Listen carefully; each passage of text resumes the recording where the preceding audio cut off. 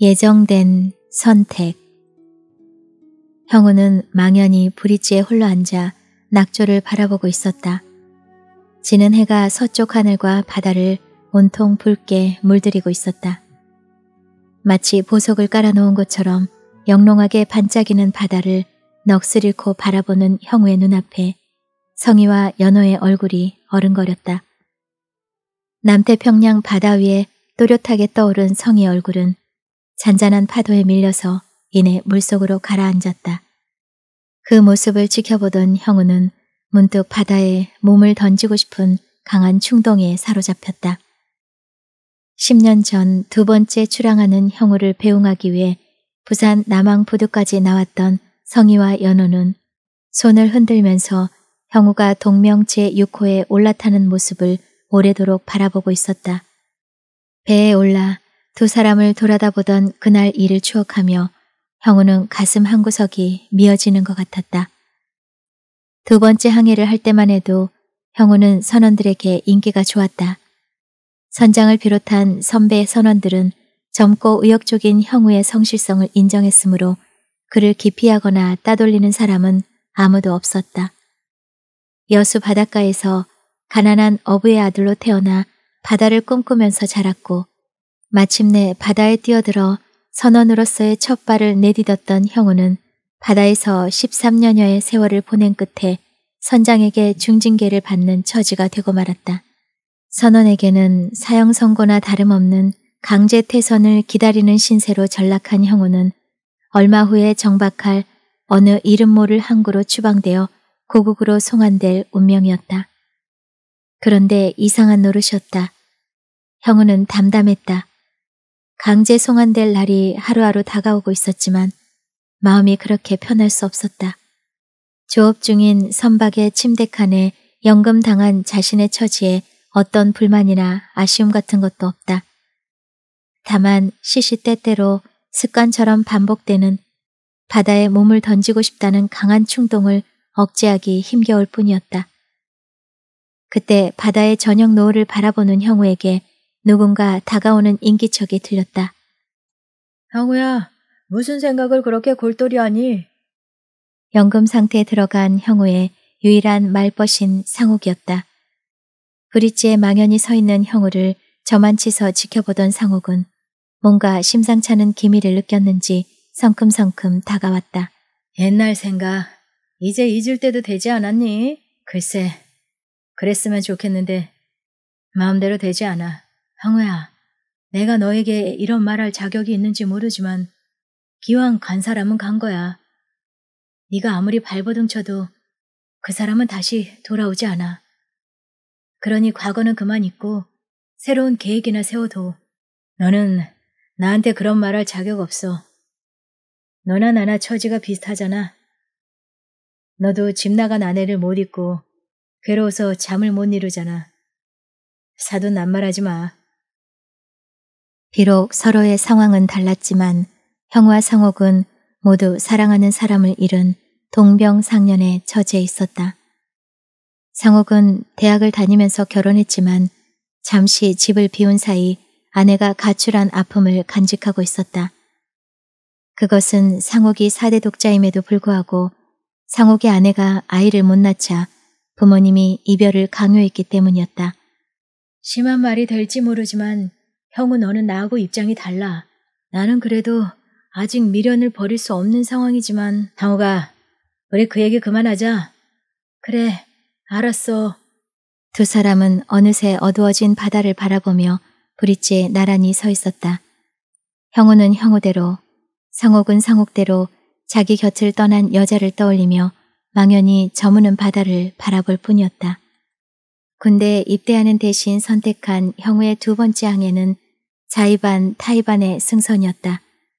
군대에 가게 되면 후방에 남은 성희와 연호가 먹고 살 길이 막연했기 때문에 돈을 벌 수 있는 바다를 선택했을 뿐이었다. 형우는 10년 전에 일을 생각할 때마다 차라리 군대에 갔으면 좋을 뻔했다는 생각을 되씹고는 했다. 만약 그때 군에 입대를 했었다면 사랑하는 성희를 그렇게 허무하게 떠나보내지 않았을지도 모른다는 생각을 지울 수가 없었다. 그랬더라면 지금쯤 성희와 함께 가난하지만 행복하게 살 수 있을지도 몰랐다. 성희야. 자기도 모르는 사이에 어두운 바다에 대고 성희의 이름을 불러보았다. 형우야, 그러지 말고 침실로 들어가자. 바람이 제법 차가워. 그래, 알았어. 브릿지를 벗어난 두 사람은 천천히 침실로 돌아왔다. 앞으로 어떻게 살 거냐? 침실로 돌아온 상옥이 형우에게 물었다.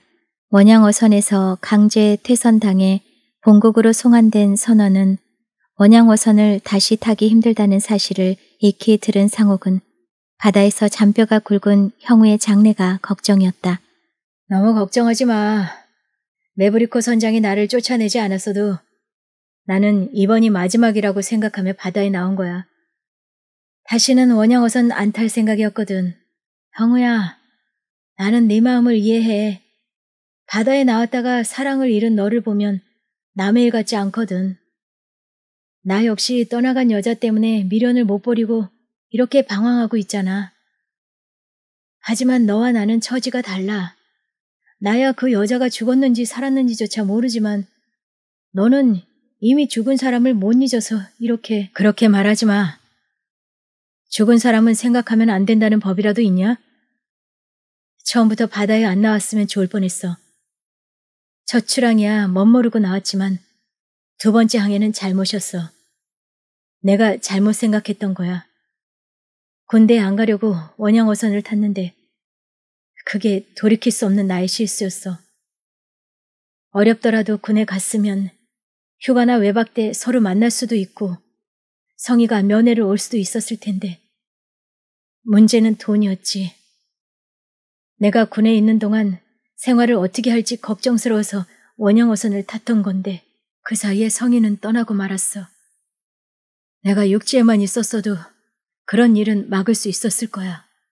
내가 듣기에는 가슴 아프겠지만 죽은 사람은 죽은 사람이고 산 사람은 어떻게든 살아야 하는 거 아니겠어? 이제 죽은 사람은 놓아주고 살아남은 너를 추스리는 것이 좋을 것 같아. 언제까지나 죽은 사람을 안 놓아준다면 죽은 사람도 편하지 못할 거야. 상옥은 진심으로 형우를 위로했다. 나도 그러고 싶어. 그런데 그게 맘대로 안 되는 걸 어떻게 하겠어. 그래도 잊어야 해. 과거에 묶여있는 너 한 사람 때문에 네 주변에 있는 사람들이 마음의 상처를 입고 있잖아. 그건 너 때문에 가슴 아파하는 사람들에게 너무 잔인한 일이야.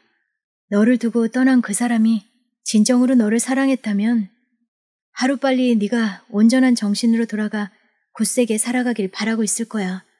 그러니 네가 빨리 정상적인 삶을 되찾는 것이 진정으로 그 사람을 위하는 사랑이 아닐까. 그러나 형우의 귀에는 상옥의 충고가 들어오지 않았다. 군대를 선택하지 않고 승선을 결정했던 10년 전의 선택이 성희를 불기의 객으로 만들고 말았다는 생각을 떨쳐낼 수 없었다. 형우는 한순간의 잘못된 판단이 성희의 죽음을 가져왔다는 깊은 자책감에 빠져 몸부림치고 있었다. 두 번째 출항 때 부두에서 보았던 성희의 모습이 마지막이 될 줄은 꿈에도 상상하지 못한 일이었다. 성희는 형우를 태운 동명 제6호가 부산항을 출발하여 수평선 너머로 사라질 때까지 부두에 서 있었다. 원양어선이 수평선 너머로 완전히 모습을 감춘 뒤에도 한참 동안이나 우두커니 서 있던 성인은 발길을 돌려 연호와 함께 순천 집으로 돌아왔다. 형우가 없는 집은 날이 갈수록 적막에 쌓였고 낯설기만 했다. 형우가 없는 순천은 적막 강산 같았다.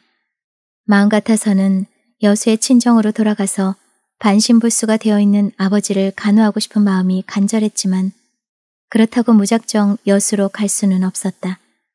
그러던 어느 날 여주의 성혜원 박 원장에게서 편지가 도착했다. 순천에 신혼방을 꾸미고 나서 형우와 성희가 보낸 감사의 편지에 대한 답신이었다. 성희는 마치 친정 아버지의 편지라도 받은 것처럼 기뻤다. 원장의 편지를 읽으면서 성희는 성혜원에서 보냈던 나날들과 그곳 아이들의 얼굴을 하나하나 떠올렸다. 성혜원을 떠나오던 날 이포 나루토에서 받은 꽃들의 향기가 편지 속에 고스란히 묻어나는 듯했다. 편지에는 성혜원을 잊지 않고 소식을 보내주어서 감사하다는 내용과 함께 성혜원 원생들이 아직도 성희를 그리워하고 있다는 내용이 담겨 있었다. 또 가까운 시일 내에 박 원장이 성혜원 후원의 일 때문에 광주에 갈 일이 생길 것 같다면서 그때 형우와 성희가 사는 순천에도 한번 들르고 싶다고 쓰여 있었다. 박 원장은 성희가 얼마나 행복하게 살고 있는지 보고 싶고 무엇보다도 연호가 얼마나 컸는지 궁금하다고 썼다. 아무도 찾아올 사람 없는 순천에서 연호와 단둘이 적막하게 살던 성희는 뜻밖의 편지를 받고 무척이나 기뻤다. 성희와 연호에게 박 원장은 생명의 은인이나 다름없는 특별한 사람이었다. 편지의 발신일을 확인해 보니 이미 광주에 도착해 있을지도 모른다는 생각이 들었다. 성희는 연호를 데리고 공중전화로 가서 광주로 전화를 걸었다. 성희가 성혜원에 있을 때도 박 원장은 보육원 후원의 일로 가끔 광주에 가는 일이 있었기 때문에 성희도 광주 후원의 연락처를 알고 있었다. 여보세요? 다이얼을 돌리자 이내 응답이 왔다. 성희와 가끔 통화를 한 일이 있는 귀에 익은 아가씨의 목소리였다. 지금 그곳에 혹시 성현 원장님이 와 계신가요? 실례지만 누구세요? 박 원장은 이미 도착해 있는 것이 분명했다. 기억하실지 모르겠는데요. 저는 유성이라고 합니다. 아, 유성이 선생님이세요? 기억하고 말고요. 원장님은 지금 후원회 회장님과 말씀 중이신데 바꿔드릴까요? 방해가 안 되시면 좀 바꿔주세요. 성희는 이내 박 원장과 통화를 할 수 있었다. 유성이 선생? 박 원장의 목소리를 듣자 성희는 눈물이 왈칵 쏟아졌다. 네, 원장님. 저 유성이에요. 그동안 안녕하셨어요? 유 선생님이 어떻게 아셨어요? 나 여기 와 있는 거. 광주 연락처 제가 알고 있잖아요. 아, 그랬지요. 그럼 편지를 받았군요. 예, 조금 전에 받았어요. 형우 씨도 그동안 안녕하시지요? 연호는 잘 있어요? 예, 잘 있어요. 원장님, 광주에서 일이 언제 끝나세요? 이제 막 끝내고 유 선생님 댁으로 가려던 참이었는데 마침 통화가 되어서 아주 좋군요. 어머, 그러셨어요? 원장님 뵙고 싶어요. 아이들은 다 잘 지내죠? 그렇잖아도 순천에 간다고 했더니 유 선생님 보고 싶다고 다들 야단이었어요. 그런데 제가 방문해도 배가 안 되겠어요. 배라뇨. 그게 무슨 말씀이세요? 지금 출발하시는 거죠? 버스 시간에 맞춰서 터미널로 나가 있을게요. 알았어요. 지금 바로 나가지요. 광주에서 순천으로 오는 시간을 계산한 성인은 그 길로 시장으로 달려가 장을 받아가 음식을 장만했다. 신혼 살림을 차린 이후 두 사람의 집에 찾아오는 첫 손님이었다. 모처럼 먼 길을 오는 손님에게 대접할 음식을 정성껏 준비하면서 성인은 기뻤다. 더욱이 그 손님이 자신이 평소에 생명의 은인이라고 생각하는 박 원장이어서 더 반갑게 맞고 싶었다. 형우가 떠난 뒤 처음으로 성인은 음식 같은 음식을 푸짐하게 만들었다. 이것저것 준비한 뒤 성인은 연호를 등에 업고 버스 터미널로 향했다. 터미널에서 박 원장을 기다리면서 성인은 지루하다는 생각이 들지 않았다. 성혜원을 떠난 지 6개월 만에 다시 만나는 원장이었지만 벌써 몇 해나 지난 것처럼 느껴졌다. 마치 오래 헤어진 친정 아버지를 기다리는 듯 기쁘고 즐거운 마음으로 성인은 개찰구에 박 원장이 나타나기만을 기다렸다. 한 시간 남짓 지났을까 개찰구를 빠져나오는 박 원장의 모습이 눈에 띄었다. 안녕하세요, 원장님.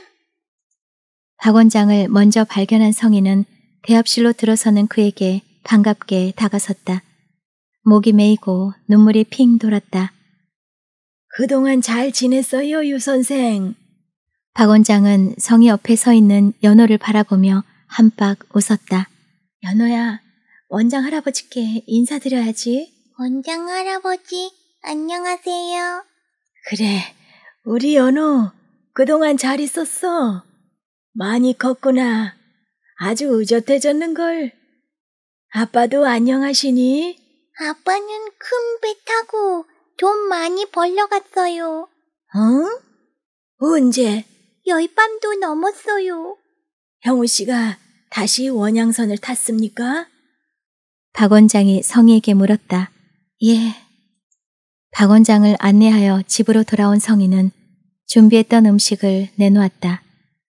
비록 가지수도 많지 않고 고급 음식은 아니었지만 평소에 박 원장이 좋아하는 음식들이었다. 무슨 음식을 이렇게 많이 차렸습니까? 별로 차린 게 없어요. 모두 내가 좋아하는 음식들이군요. 어떻게 이런 걸 다 준비했어요? 제가 원장님을 얼마나 모셨는데 원장님 식성을 모르겠어요. 기억나는 대로 만들어 봤는데 입에 맞으실지 모르겠어요. 성희는 그 사이 눈에 띄게 수척해진 박 원장을 바라보기 민망해서 고개를 숙였다.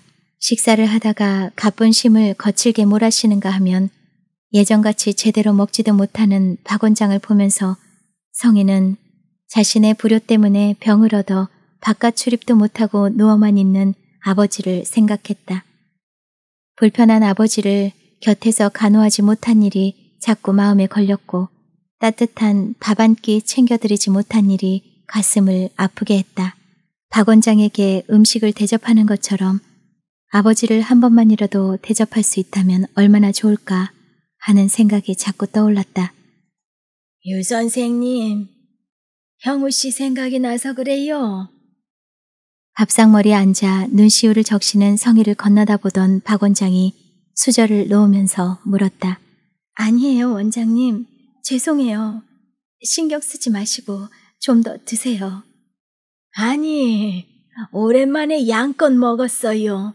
괜히 저 때문에. 이제 나도 늙었어요. 몸이 예전 같지 않다는 것을 문득문득 느낍니다. 하나님 나라로 갈 날이 가까워진 거죠. 식사도 그렇고 외출도 힘이 들어요. 왜 그런 말씀을 하세요? 원장님이 약해지시면 성에 온 아이들은 어떻게 하라고요? 원장님은 건강하게 오래오래 사셔야 해요. 아직 할 일이 더 남았지만 어쩌겠어요. 하나님이 부르시면 가야지요. 원장님, 너무 걱정하지 마세요. 내가 떠나면 나보다 백배 더 훌륭한 분이 성혜원을 맡아주실 거예요. 박 원장의 목소리는 가늘게 떨리고 있었지만 표정이나 눈빛은 아무런 근심과 걱정이 없는 듯 밝고 부드럽기만 했다. 그는 지극히 평화롭고 행복한 눈길로 성희와 연호를 바라보았다. 유 선생께 한 가지 물어봐도 되겠습니까? 예, 지난번 편지에 유 선생님의 아버님에 대한 말씀이 없던데 아버님께서 두 분의 결혼을 허락하셨나요? 아니에요, 원장님. 아직 허락하지 않으셨어요. 아, 예, 그러셨군요. 앞으로도 허락하실 것 같은 무슨 기미가 없습니까? 예, 아직은. 성희의 대답을 들은 원장은 기도를 하는 양 한동안 눈을 감고 묵묵히 있었다. 성경에 원수를 사랑하라고 하는 말씀이 있습니다. 두 집이 하루라도 빨리 화해할 수 있도록 도와주십사고 기도했어요. 그런데 연호 아버지는 언제 돌아올 예정입니까? 한 3년쯤 걸릴 거라고 했어요. 지난번 항해 때보다 더 오래 걸리겠군요. 이번 항해는 군복무를 대신한 의무 승선이에요. 원장님, 먼 길에 피곤하실 텐데 오늘은 저희 집에서 편안히 쉬세요. 제가 자리를 펴드릴게요. 성희가 이부자리를 펴려고 일어서자 박 원장이 만류했다. 아닙니다, 유 선생님. 이만 가보겠습니다. 오늘 밤에 광주에서 처리할 일이 있어요. 안 돼요. 지금 이 시간에 광주까지 어떻게 가시겠어요? 몸도 불편한데 너무 무리하시면 안 돼요. 노취하지만 오늘은 여기서 쉬고 가세요. 고맙지만 아직은 괜찮아요. 모처럼 좋은 음식과 환대를 받았군요. 아무쪼록 행복하세요. 하루속히 아버님이 노여움을 푸시고 유 선생님 댁에서 근심이 사라지도록 하나님께 늘 기도드리겠습니다. 간곡하게 만류하는 성의를 남겨두고 박 원장은 기어이 자리를 털고 일어섰다. 더 이상 박 원장을 붙들지 못한 성의는 연호와 함께 집 앞으로 따라 나섰다. 원장님, 정말 괜찮으시겠어요? 걱정하지 말아요. 아무 일 없을 테니. 유 선생님, 언제 어느 때라도 힘들고 외로우면 성혜원으로 찾아오세요. 언제든지 환영합니다. 그리고 하나님께 의지하고 항상 기도하세요. 하나님께서 유 선생님에게 큰 힘이 되어 주실 겁니다. 예, 원장님. 명심하겠어요. 연호야, 안녕. 우리 또 만나자. 원장 할아버지, 안녕히 가세요. 성희는 불편한 노부에도 불구하고 다시 광주로 떠나는 박 원장을 버스 터미널까지만이라도 배웅하고 싶었지만 극구 사양을 하는 바람에 결국 택시를 잡아주는 걸로 대신해야 했다. 잠깐 들렀던 박 원장이 떠나고 나자 성희는 또다시 연호와 단 둘이 남겨졌다. 연호를 재우고 혼자 끼어있던 성희는 문득 외로웠다. 새삼스레 아버지 얼굴이 자꾸 어른거리고 한 걸음에 여수의 고향집으로 달려가고 싶은 마음을 억누를 길이 없었다. 불을 끄고 연호 곁에 누워 억지로 잠을 청했지만 이런저런 잡념이 사라지지 않았다. 성희는 형우가 올 때까지 아무래도 마음을 붙여서 몰두할 무언가가 필요하다고 생각했다. 무슨 소일거리가 없을까 하고 밤잠을 설치면서 고민하던 성희는 이튿날 집주인 여자를 찾아가서 의논도 하고 이곳저곳을 기웃거려 보았다. 그러나 4살짜리 아이를 키우면서 혼자 사는 주부가 할 수 있는 일거리를 찾기란 그리 쉽지 않았다. 간혹 일자리가 있었지만 연호가 너무 어려서 그나마도 마땅치 않았다. 그러던 어느 날 서울의 세브란스 병원에서 한 통의 전보가 날아들었다. 그것은 뜻밖에도 성혜원 원장이 위독하다는 정갈이었다.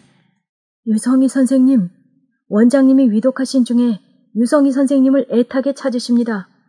서울의 세브란스 병원 중환자실로 급히 오시기 바랍니다. 성혜원 총무 한일설 올림. 성희는 믿을 수가 없었다. 불과 열흘 전에 순천에 들렀던 박 원장이 병원의 중환자실에서 자신을 애타게 찾고 있다는 사실이 도무지 믿기지 않았다. 외출해서 돌아오던 길에 전보를 받은 성희는 연호를 데리고 그 길로 열차를 타고 서울로 올라가 세브란스 병원 중환자실로 찾아갔다. 성혜원의 중고등학생들과 직원들은 중환자 면회 대기실에서 벌써 며칠째 원장의 병세를 지켜보고 있었다. 성혜원을 후원하는 지방 유지들과 박 원장이 은퇴한 교회 관계자들도 눈에 띄었다. 하루에 두 번 허락되는 환자 면회를 마친 원생들과 위문객들은 면회 대기실과 복도에서 눈물을 흘리며 원장의 쾌유를 간절히 비는 기도를 하고 있었다. 성희가 연호를 등에 업고 면회 대기실로 들어서자 학생들은 성희에게 달려들면서 울먹일 뿐 누구 하나 박 원장의 상태를 설명할 엄두를 못 내는 눈치였다. 원장님이 유 선생님을 계속 찾으셨어요. 성혜원 총무 한일설이 성희 앞으로 다가왔다. 총무님, 갑자기 원장님이 왜 이렇게 되신 거예요? 지난번에 광주에 다녀오신 뒤 이틀 만에 갑자기 쓰러지셨어요. 처음에는 과로 때문인 줄 알고 병원으로 모셔왔어요. 병원에 도착하실 때까지는 의식이 있었는데 도착하자마자 의식을 잃으셨습니다. 간간히 의식이 돌아올 때면 유 선생님을 찾으셨어요. 성희는 혹시 자신이 대접한 음식이 잘못되지나 않았는지 덜컥 겁이 났다. 병원에서는 뭐라고 해요? 원장님의 주치의는 병명이 뭐라고 확실한 말씀은 안 하고 회생하기 어렵겠다고만 했어요. 아무 이유도 없이 갑자기 혼수 상태에 빠졌을 리는 없다는 생각에 성희는 박 원장의 주치의를 찾아갔다. 연호가 폐렴에 걸렸을 때 박 원장의 소개로 몇 번 만난 적이 있는 의사였다. 선생님, 우리 원장님이 어디가 어떻게 편찮으신데요? 근래 과로가 겹쳤어요. 연세도 많으신 양반이 무리를 해서 지병이 악화됐는데 지금은 더 이상 손을 쓸 수 없는 상태예요. 죄송합니다. 지병이 있었나요? 예, 그렇습니다. 무슨 간 경변증이라는 병인데 간장의 실질 세포의 장애와 결체 조직의 증가에 따라 간장이 굳어지며 커지거나 오므라드는 병이죠. 원장님의 간장은 지금 너무 많이 굳고 커져 있습니다. 원장님은 그 병을 알고 계셨어요? 최근에 아셨는데 이미 말기였죠. 치료가 불가능한 상태였어요. 너무 늦게 발견했어요. 주치의로서 면목이 없습니다. 아무래도 마음의 준비를 하셔야 할 것 같아요. 기적이 없는 한 오늘 밤을 못 넘기실 거예요. 주치의는 박 원장이 계속 성희를 찾았다는 사실을 알고 있었으므로 면회 시간과는 상관없이 성희를 원장에게 안내했다. 박 원장은 인공호흡기로 숨을 쉬고 있었다. 원장님, 정신 좀 차리세요. 원장님. 박 원장은 애타게 자신을 부르는 성의 목소리를 전혀 듣지 못하고 있었다. 아무런 반응이 없었다. 성희는 아무리 불러도 대답이 없는 박 원장을 눈물을 흘리면서 조용히 바라보았다. 성혜원에서 지낸 지난 2년 동안 박 원장은 가끔 성희에게 자신의 인생 역정을 들려주곤 했었다. 그의 이야기는 미혼모의 몸으로 혼자 연호를 키우는 일이 힘에 부치던 성희에게 적잖은 용기와 희망을 심어주었다. 박 원장의 고향은 평양이었다. 평양에서 목회 활동을 처음 시작할 무렵 일본은 신사 참배를 강요하기 시작했고 박 원장은 이를 거부했다. 파리로 해방과 동시에 종교의 자유를 얻은 박 원장은 그러나 종교의 자유를 다시 빼앗겼다. 일제에서 벗어나자마자 38선 이북에는 스탈린과 김일성의 초상화를 앞세운 조선민주주의 인민공화국 정권이 들어섰고 종교를 아편으로 규정하는 그들 치하에서 목회 활동이 쉽지 않았다. 6.25가 터졌고 인천 상륙작전 이후 기선을 잡고 북진했던 연합군이 중국의 참전으로 일사후퇴를 할 때 박 원장은 평양에 가족을 남겨두고 단신으로 월남했다. 늙은 부모와 아내 그리고 이남 일녀를 평양에 고스란히 두고 일가 친척 하나 없는 남한에 내려온 원장의 꿈은 오직 하나 종교의 자유였다. 남한에 도착한 박 원장의 눈에 당황하는 전쟁 고아들이 튀었고 개척교회를 시작하는 한편 전쟁 고아들을 모아서 천막을 치고 동고동락하는 것이 성혜원이 되었다고 했다. 성희는 사랑하는 가족과 헤어져서 혼자 월남한 일을 자책하며 20여 년 동안 전쟁 고아들과 함께 살아온 박 원장이 문득문득 이북에 두고 온 가족들을 그리면서 혼자 멍하니 북쪽 하늘을 바라보는 모습을 발견하기도 했었다. 그런 박 원장을 보면서 성희는 성희대로 고향 여수의 바다를 그리워했다. 고향에 계신 아버지와 어머니, 그리고 남태평양의 푸른 파도 위에 외로이 있을 형우의 얼굴을 그리면서 성희는 박 원장의 마음을 어렴풋이 헤아릴 수 있었다. 박 원장과 성희는 가족을 버리고 떠나온 사람이라는 동료 의식을 느끼고 있었으므로 말하지 않아도 서로의 얼굴에서 언뜻언뜻 스치는 어두운 그림자의 정체를 읽을 수 있는 그런 친구였다. 종교의 자유를 찾아 고향을 떠나온 한 사람은 휴전선 때문에 가족과 헤어져 있었고 사랑의 결실을 보호하기 위해 고향을 떠나온 한 사람은 양가의 불화 때문에 가족과 헤어져 살아야 했다. 박 원장과 성인은 비록 살아온 배경이 다르고 종교도 다르고 연륜이 다른 인생의 선후배였지만 마치 오랜 친구처럼 서로의 마음을 짐작하며 서로에게 힘이 되는 사이였다. 인공호흡기를 부착한 채 의식을 잃고 중환자실에 누워있는 박 원장의 얼굴을 보면서 성인은 그의 영혼이 어쩌면 휴전선 이북에 가족에게 벌써 가 있을지도 모른다는 생각이 들었다. 몸은 비록 타양에 있지만 언제나 고향의 가족을 떠나지 못했던 박 원장의 영혼이 이제 거추장스러운 육신을 훌훌 벗어버리고 그리운 사람들 곁에 가 있을 것만 같았다. 주치의가 예측했던 대로 박 원장은 성희가 도착한 그날 밤을 넘기지 못하고 운명했다. 의사가 박 원장에게서 인공호흡기를 걷어내는 순간 병상을 지키던 성희는 풀썩 고꾸라지고 말았다. 잠깐 의식을 놓았던 성희가 다시 깨어났을 때 중환자실은 이미 오른바다로 변해 있었다. 안타깝고 가슴 아픈 한 영혼의 마지막 모습 앞에서 성혜원 원생들은 통곡하고 있었다. 박 원장의 운명을 확인한 주치의는 곧바로 성희를 비롯한 성혜원 가족들과 후원자들을 병원 회의실로 모이게 했다. 회의실에 사람들이 모두 모였을 때 주치의는 두툼한 서류 봉투 하나를 꺼냈다. 성희는 친족이 없는 박 원장의 장례 절차를 의논하려는가 보다 생각하며 잠자코 주치의를 지켜보았다. 원장님의 주치의였던 저는 죄송하고 애통한 마음을 금할 길이 없습니다. 원장님의 회복을 위하여 제가 알고 있는 지식을 모두 동원하여 최선을 다했지만 애석하게도 운명하시고 말았습니다. 좀 더 일찍 원장님의 병을 발견해서 치료해드리지 못한 것이 참으로 유감입니다. 제가 여러분을 회의실로 모신 것은 원장님이 남기신 유언장을 공개하기 위해서입니다.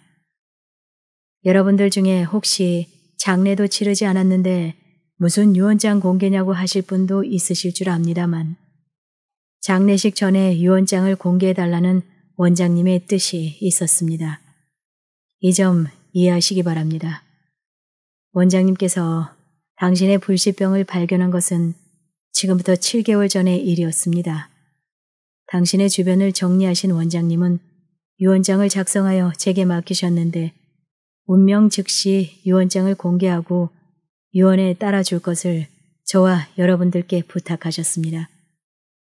여러분들도 고인의 뜻에 따라주시기 바랍니다. 그러면 지금부터 유언장을 공개하겠습니다. 주치의는 밀봉했던 서류 봉투를 뜯고 봉투 속에서 유언장을 꺼냈다. 유언장, 사단법인 성혜원 원장 박영준. 나 박영준은 본인의 주치 세브란스 병원 의사 박철순과 변호사 김종성을 입회인으로 정하여 본 유언장을 작성한다. 나 박영준은 하나님의 크신 은혜와 사랑으로 본인에게 맡겨진 사명을 완수하지 못했지만 최선을 다하여 열심히 노력했다고 생각한다. 나 박영준이 하나님의 부르심을 받아 하늘나라로 가는 것은 영광된 일이고 복된 일이니 나를 아는 모든 사람들은 나의 죽음을 애통해 하지 말고 눈물을 보이지 말 것을 부탁하며 다음의 사항들을 나 박영준이 부탁하는 대로 처리하여 주기를 바란다. 1. 나 박영준이 하나님의 부르심을 받아 소천하는 즉시 시신을 병원에 기증하여 젊은 의학도의 실력 배양을 위한 실험용으로 쓰이게 한다. 2. 나 박영준의 명의로 되어 있는 모든 재산, 부동산 및 예금 통장, 별지 참조를 사단법인 성혜원에 기증한다. 3. 사단법인 성혜원의 관리 및 운영은 유성희에게 위임하고 재정관리는 변호사 김정성과 세브란스 병원 내과과장 박철순에게 위탁한다. 단 유성희가 성혜원의 관리 및 운영을 거부하면 변호사 김정성과 의학박사 박철순이 운영권자를 선임하여 위탁한다. 4. 현재 사단법인 성혜원에서 직책을 맡아 일하고 있는 형제와 자매 여러분들은 본인의 유언에 따라 사랑과 봉사의 마음으로 성혜원 가족들을 자신의 몸과 같이 보살펴주기 바란다. 1973년 7월 15일 유언장 공개가 끝난 뒤 숙연해진 회의장은 물을 끼얹은 듯 조용했다. 부모에게서 버림받은 고아들을 돌보다가 결국에는 자신의 몸까지 사회에 내놓은 한 사람의 헌신적인 영혼이 남긴 깊은 감동이 회의장에 모인 사람들의 가슴을 흔들고 있었다.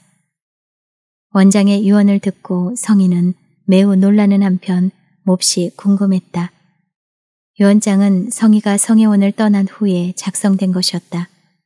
그런데 박 원장이 어떻게 자신에게 성혜원의 관리와 운영을 맡겼는지 도무지 납득이 되지 않았다. 유언장을 공개한 주치의는 참석자들에게 유언 내용에 대한 질문이나 이의가 있는지를 확인했지만 아무도 이의를 제기하지 않았다. 그럼 이의가 없는 것으로 인정하고 원장님의 유언에 따라 모든 일을 실행하겠습니다. 그리고 유성희 씨는 추도식이 끝나는 대로 잠깐 제 방으로 와주시기 바랍니다. 유원장 외에 원장님이 유성희 씨에게 따로 남긴 편지를 전해드리겠습니다. 원장의 유해가 곧 중환자실에서 영안실로 옮겨졌고 추도식을 마친 원생들을 성혜원으로 보낸 성인은 성혜원의 총무 한일설과 함께 주치의를 찾아갔다. 성인은 원장이 자신에게 남겼다는 편지가 빨리 보고 싶었다. 변호사 김정성도 그곳에서 성희를 기다리고 있었다. 원생들은 모두 돌아갔습니까? 주치의는 애통한 표정을 지으며 물었다. 예. 이 편지는 원장님이 광주에 다녀오신 바로 다음날 작성된 것입니다.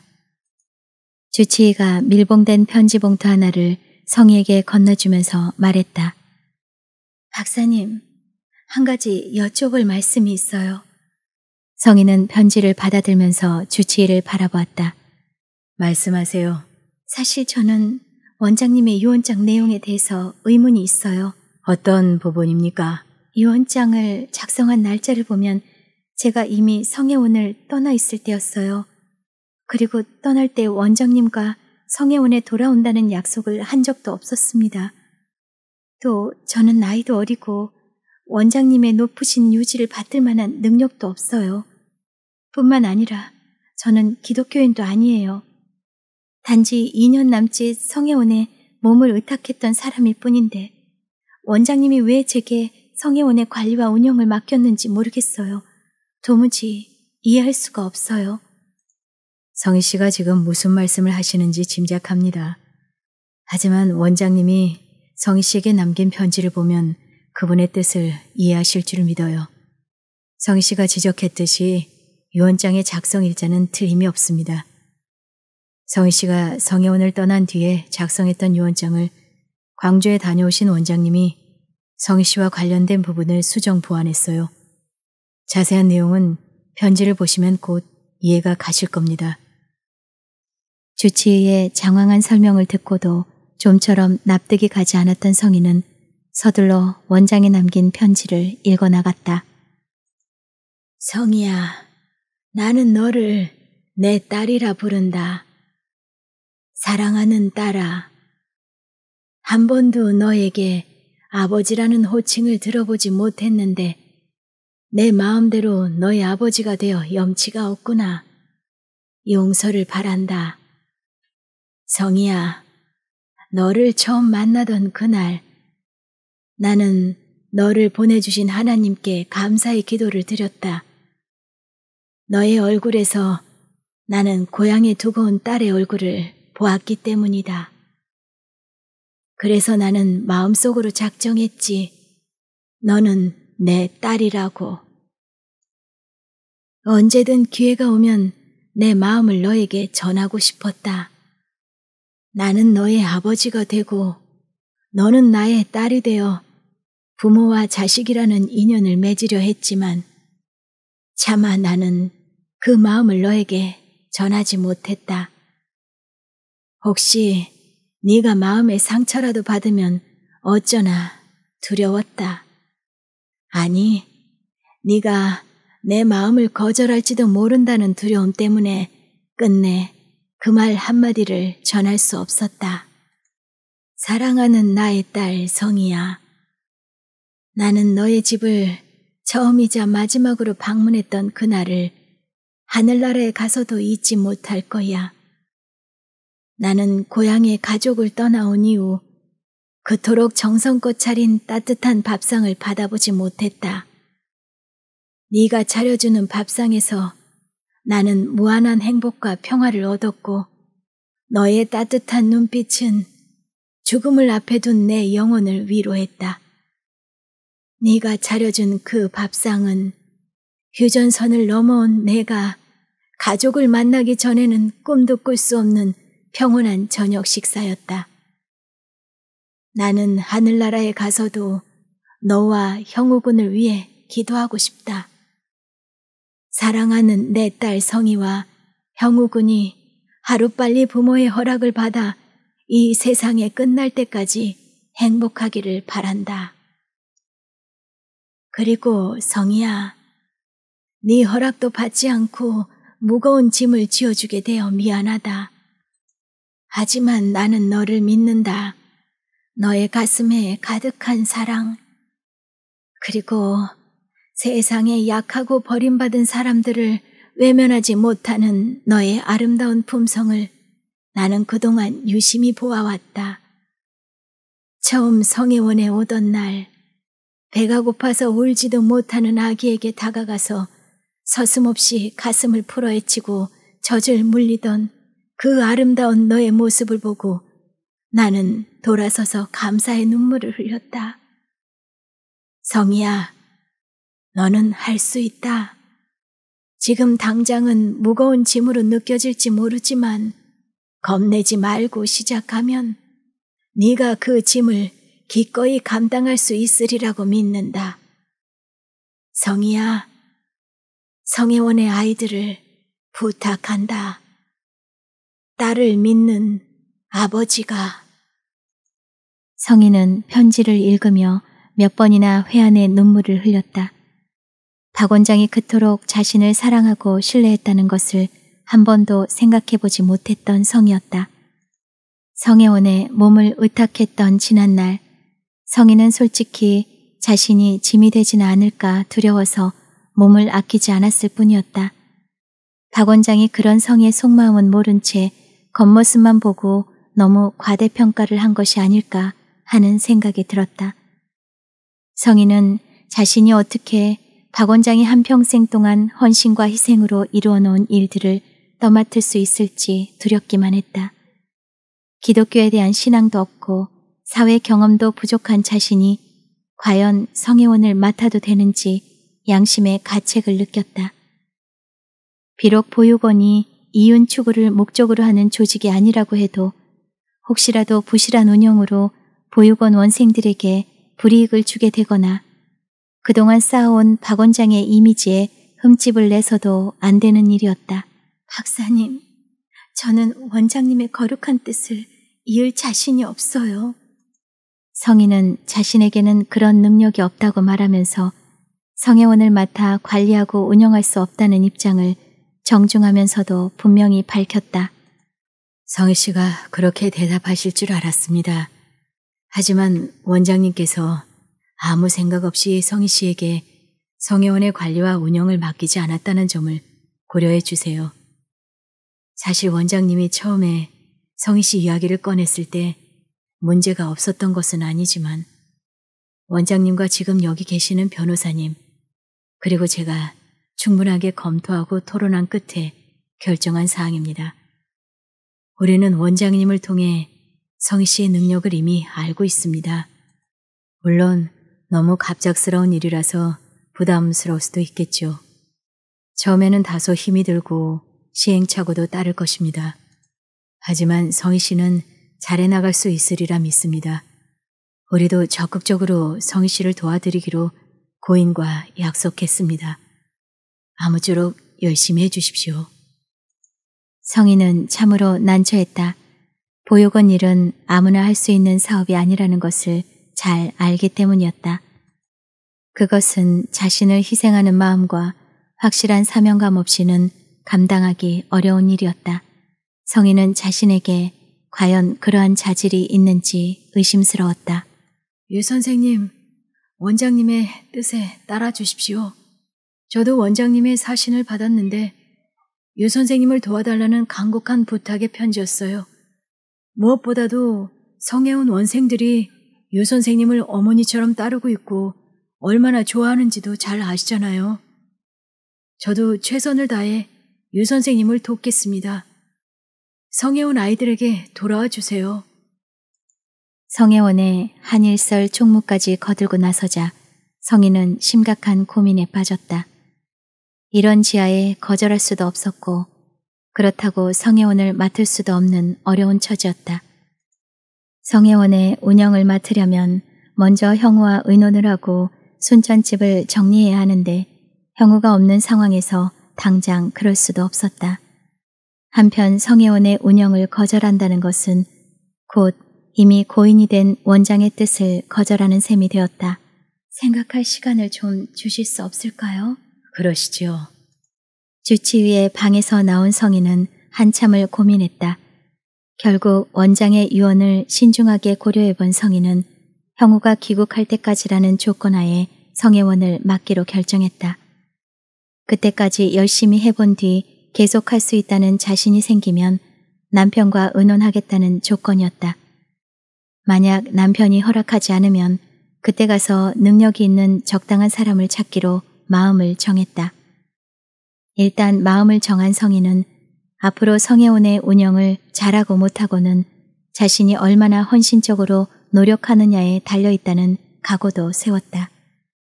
마음의 결정을 내린 성인은 다시 주치의 방으로 들어갔다. 방 안에 있던 사람들이 성희가 어떤 결정을 했는지 궁금해하며 바라보았다. 지금 제 입장을 참작해 주신다면 성혜원을 맡겠습니다.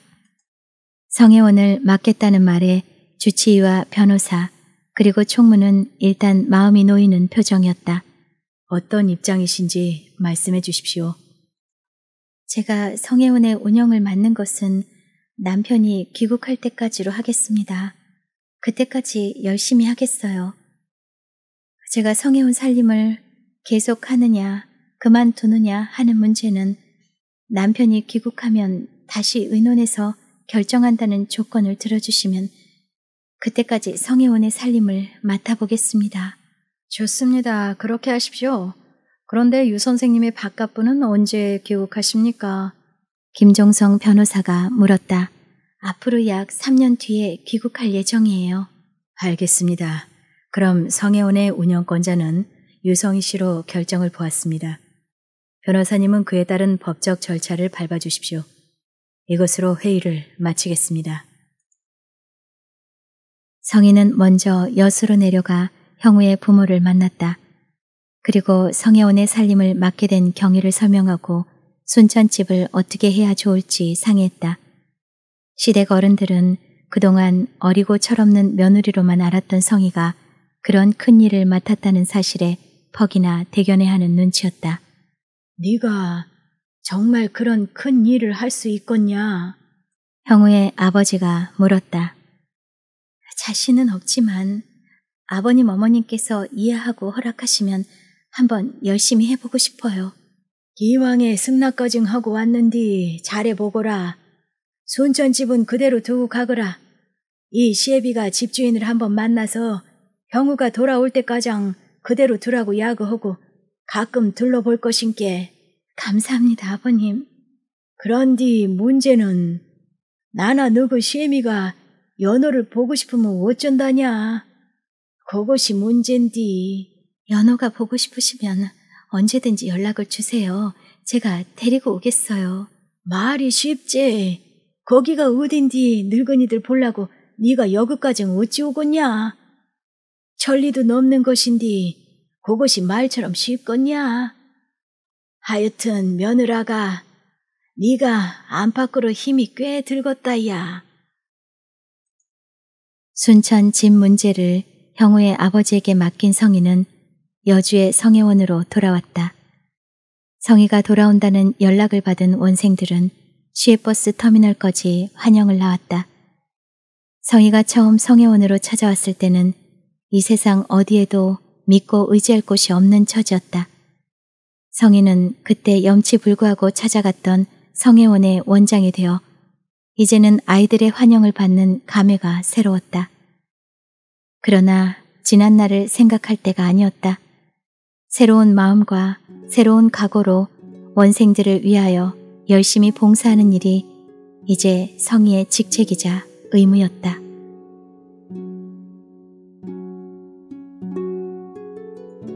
네, 하얀 소망 12번째 이야기 여기서 마치도록 하겠습니다. 편안히 머무셨길 희망하고요. 다음 시간에 또 찾아뵙겠습니다. 여러분의 구독과 좋아요는 책방에 큰 힘이 됩니다. 감사합니다.